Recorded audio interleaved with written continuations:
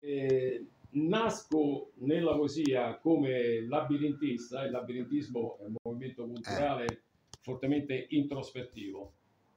Eh, labirintismo, una parola into vuol dire luogo, labris lascia bipenne del palazzo di Cnosso, chiaramente sintetizziamo, sintetizziamo, però lascia bipenne perché è importante per il labirinto, perché di fatto sono due strade da prendere. No? Adesso come iconografia è quella lì. E nasco quindi come labirintista, poi però come labirintista, anzi, conosco, la prima persona che conosco è proprio Luciano Somma nel 2007 a Minturno. E l'ho incontrato poi l'anno dopo a Minturno, per me era la prima partecipazione ad un premio e siamo entrati, cioè lui già stava in giuria, sono entrato in giuria con lui e pertanto...